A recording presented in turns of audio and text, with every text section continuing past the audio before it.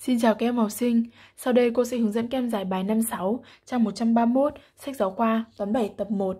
Đề bài đó là Tam giác nào là tam giác vuông trong các tam giác có độ dài ba cạnh như sau? Ý A 9cm, 15cm và 12cm. Thì để kiểm tra một tam giác là tam giác vuông hay không thì chúng ta sẽ áp dụng định lý Pythagore đạo. Đó là nếu một tam giác có bình phương của một cạnh bằng tổng các bình phương của hai cạnh kia thì tam giác đó là tam giác vuông. Và chúng ta lưu ý khi chúng ta kiểm tra thì chúng ta biết rằng là bình phương của một cạnh bằng tổng các bình phương của hai cạnh kia của tam giác. Có nghĩa là chúng ta sẽ đi kiểm tra cạnh lớn nhất, bình phương, xem có bằng tổng bình phương của hai cạnh còn lại hay không. Nếu bằng thì đấy là tam giác vuông, còn nếu khác thì đó không phải là tam giác vuông.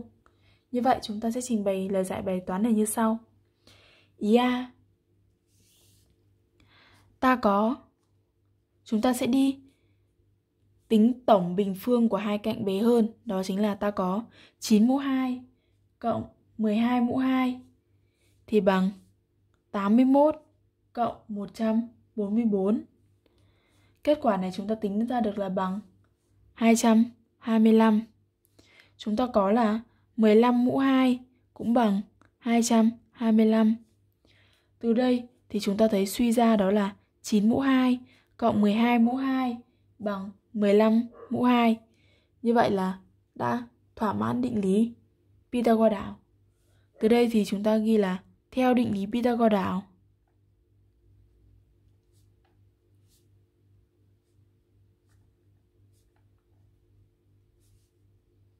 Thì tam giác đã cho là tam giác vuông.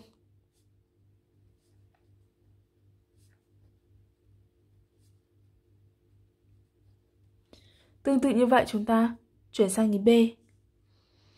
Ý B thì chúng ta sẽ đi kiểm tra 5 mũ 2 cộng 12 mũ 2 xem có bằng 13 mũ 2 không.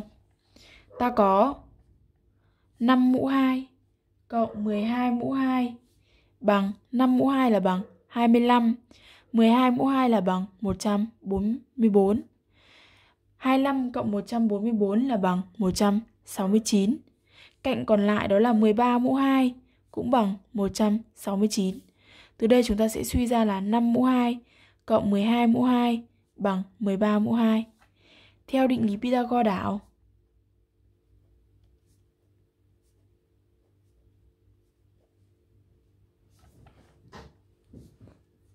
suy ra là tam giác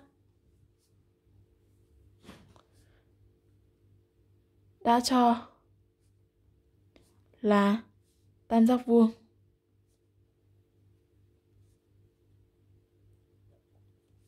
IC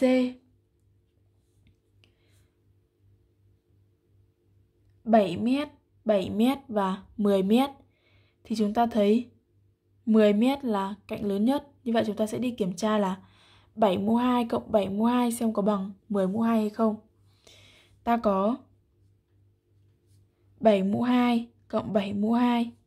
7 mũ 2 là bằng 49 cộng 49. 49 cộng 49 là bằng 98. 10 mũ 2 là bằng 100.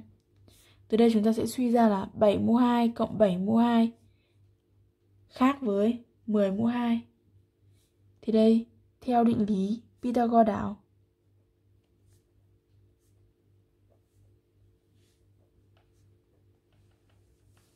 ta có tam giác có độ dài ba cạnh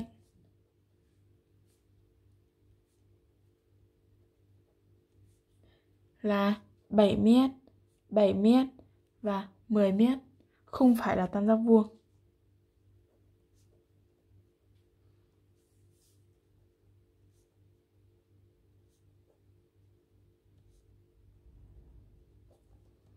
Như vậy đến đây chúng ta đã trình bày xong lời giải của bài 56 trong 131 sách giáo khoa tóm đẩy tập 1. Xin chào và hẹn gặp lại các em ở những video tiếp theo.